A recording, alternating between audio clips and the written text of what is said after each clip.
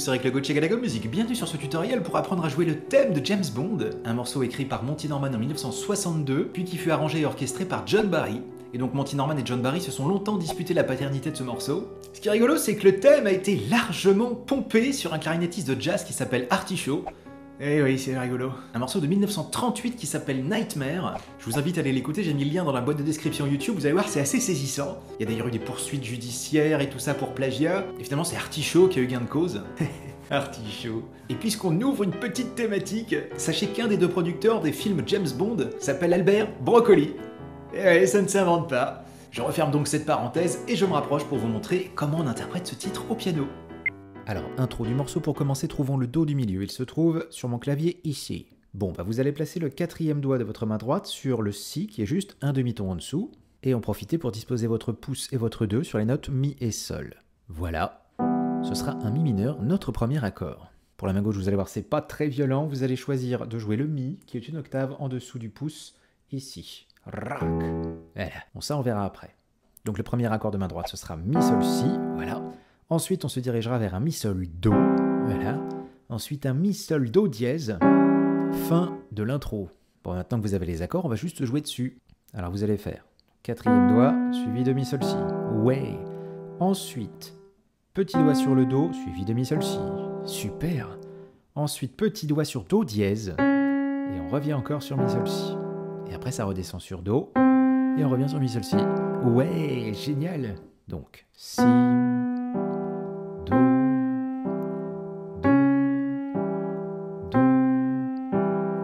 Ça deux fois, fin de l'intro. La main gauche, quant à elle, jouera sur la note Mi, comme je vous l'avais dit, et on la placera sur le deuxième et quatrième temps, c'est-à-dire 1, 2, 3, 4, 1, 2, 3, 4, et deuxième fois, 2, 3, 4, 1, 2, 3, 4. Génial alors ensuite, on arrive sur le thème à proprement parler. Donc là, la main gauche va reproduire en fait les notes aiguës qui grimpaient comme ça euh, dans la partie de l'intro. Donc vous placez le petit doigt sur le mi comme je vous le disais tout à l'heure. Si, mi, do, mi, do dièse avec le 2. Si vous pouvez le deuxième doigt, ce sera mieux parce qu'après, hop, on replace le pouce. Voilà. Et c'est pour permettre d'avoir un peu plus de legato. Donc entraînez-vous déjà un petit peu là-dessus. 1,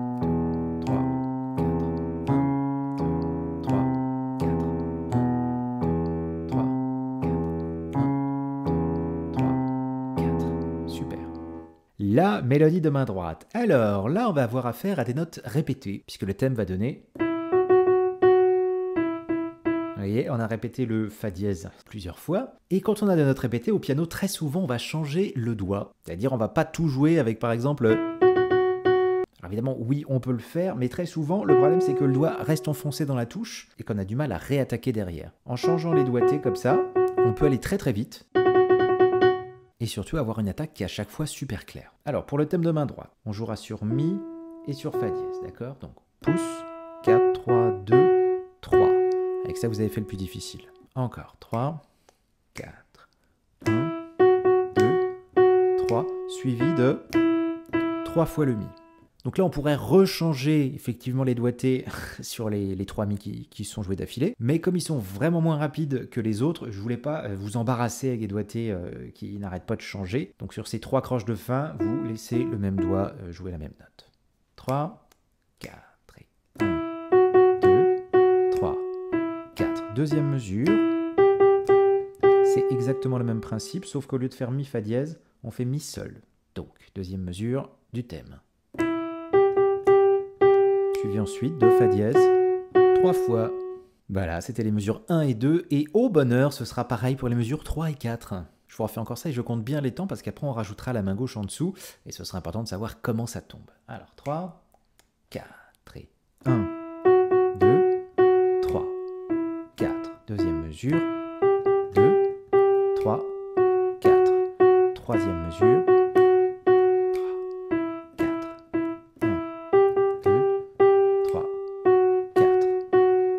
mesure 5, ça va faire pareil que la mesure 1. Voilà. Et la mesure 6, par contre, attention, on va faire petite descente chromatique, trop stylé. Donc mesure 6, mi, sol, sol, sol, sol, et après Fa dièse, Fa bécard, Mi. Ouais Encore les mesures 5 et 6. 1,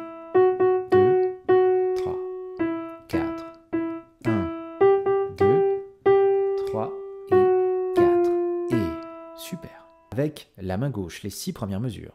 3, 4 et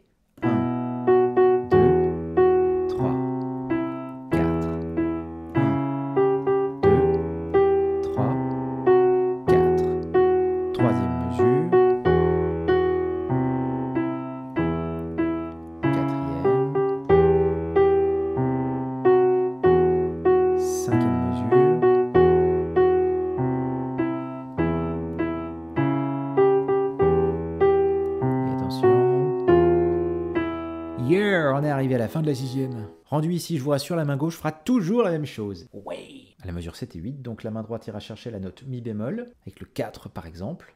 Et juste après, sol ciré, comme ça. Suivi ensuite de sol si, ensuite fa dièse la, et ensuite re sol si. Donc 1, 2, 3, 4.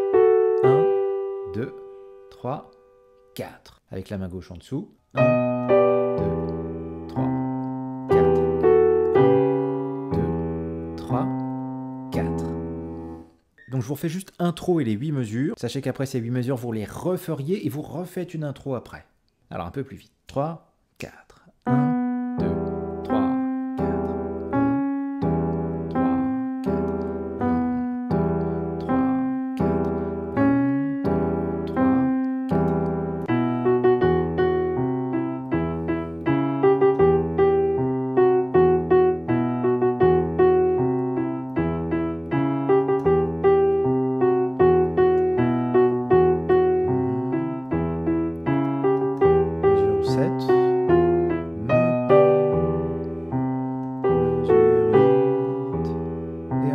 Encore donc.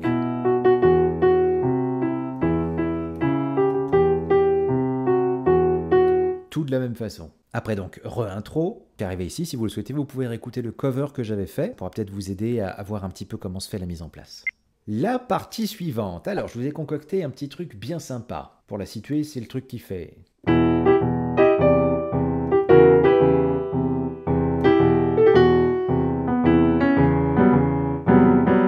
Mal, non? À la main gauche, mon petit doigt est toujours sur un Mi. J'ai fait une réduction de ce qu'elle faisait tout à l'heure, et au lieu de faire les notes en séparé, je me suis dit, tiens, qu'est-ce qui se passerait si on les bastonnait comme ça? Ça marche très bien. Voilà.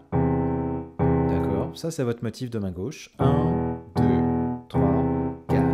1, 2, 3, 4. Là, on a fait deux mesures. À la main droite, vous placez votre pouce sur le Mi, juste à côté du Do du milieu ici. Et on va faire Mi, Mi, Sol. Après Mi, Sol, Mi bémol. Ouais, ça tire un peu. Hein. Puis après, Mi, Sol, Ré. Mi, Sol, tin, tin. Suivi ensuite de Mi, Sol à nouveau avec pouce 3. Parce que juste après, on va faire Mi, Fa dièse, La dièse. Et après, Mi, Sol, Si. Yeah!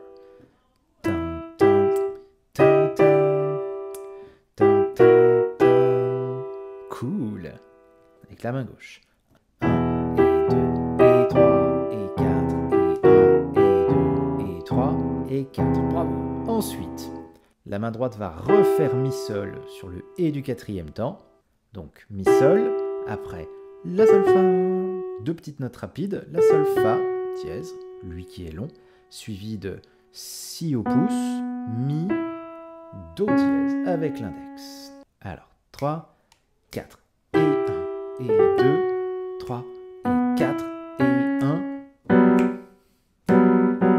Et une petite réponse très cool comme ça sur les notes Fa dièse, Sol, Si, d'accord de Mi mineur 9, que j'ai placé sur le Et du 2, 3, 4, 1 et 2, 3 et 4. Alors je pense que c'est mieux si je vous rajoute d'affilée les 4 mesures de cette partie, parce que sinon il faut reprendre sur un Et du 4 à chaque fois, c'est un petit peu relou.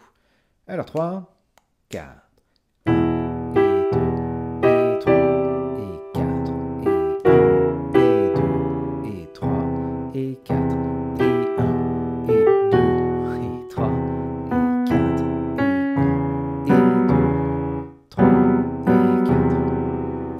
Donc là, la main gauche, elle sert de métronome. hein. Elle sera vraiment très utile pour permettre de vous y retrouver. Ensuite, sur les quatre mesures qui suivent, c'est presque tout pareil. Sauf que là, au lieu de recommencer à nouveau comme ça, je me suis dit, tiens, si je faisais une petite appoggiature. Ouais. Donc l'appoggiature brève en question, je vise mi, mais juste avant, je fais un petit ré dièse avec l'index comme ça. Donc.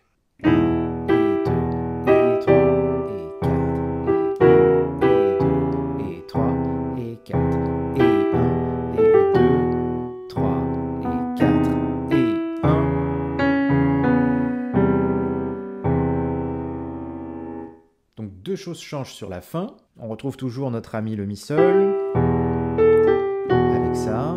Mais là, au lieu de faire si mi do, faut faire si ré dièse mi pour finir la phrase.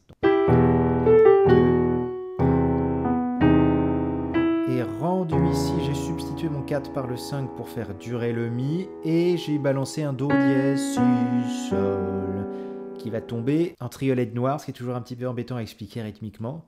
Donc et 1, et 2, et 3, et 4, et 1, et tac. Voilà. Je vous rejoue les 8 mesures de cette partie pas vite. 3, 4,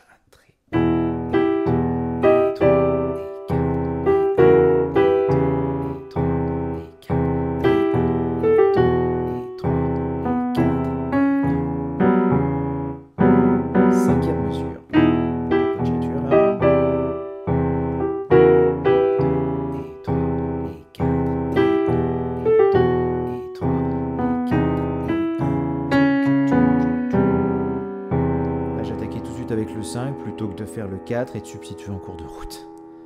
Et ensuite, dernière partie du morceau, je vous ai écrit un arrangement comme ça.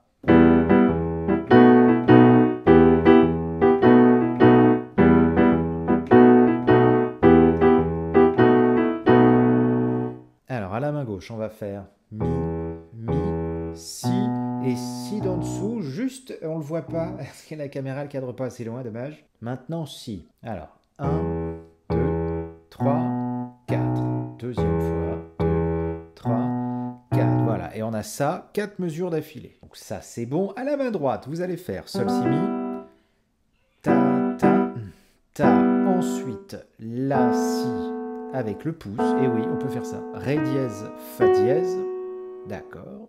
1 et 2 et 3.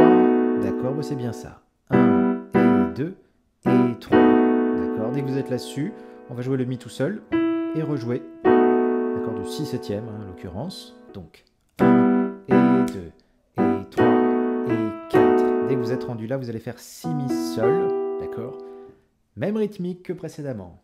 2, croche, tac, et après on redescend sur le 6 septième. Et on fait comme tout à l'heure. Ouais 3, 4, et 1 et 2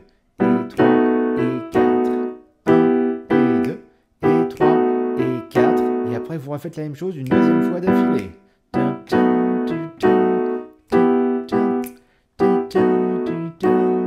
Avec la main gauche. 3, 4. 1, 2 et 3 et 4. 1 et 2 et 3 et 4.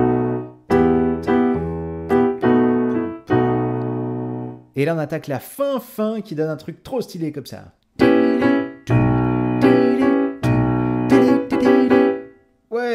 Donc là, vous faites Do dièse, Mi, Sol, Si à la main droite. Vous le balancez fort, très très fort, fortissimo. Et le deuxième, à la deuxième attaque, piqué. Donc accentué, piqué, et réponse Si, si, très fort aussi à la main gauche, en octave. Si, si, ton, si, si, ton. Et à la fin, faut juste faire gaffe au rythme.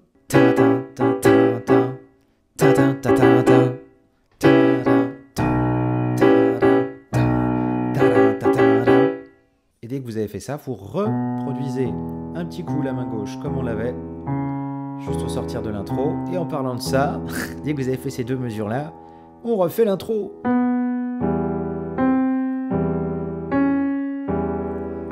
Deux fois.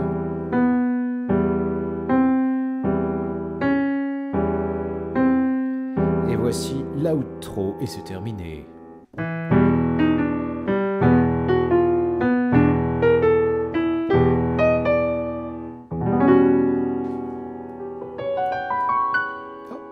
La main. Donc c'est un chouï dissonant, mais bon, hein, c'est comme ça. Donc mi, sol, mi bémol, ré. D'accord, ensuite sol, si, sol bémol, fa. D'accord Mi, sol, mi, ré, sol, si, sol bémol, fa. Ensuite si, ré, si bémol, la. Et pour terminer, fa, la, mi, ré. Yes. Mi, sol, mi, ré, sol, sol, fa, si, ré, si, la, fa, la, mi, ré. Et à la main gauche, vous allez balancer du mi, si, intervalle de quinte juste, qu'on appelle aussi power chord à la guitare, parce que c'est bien puissant. Et moi, je les balance comme ça. 4, mi, sol,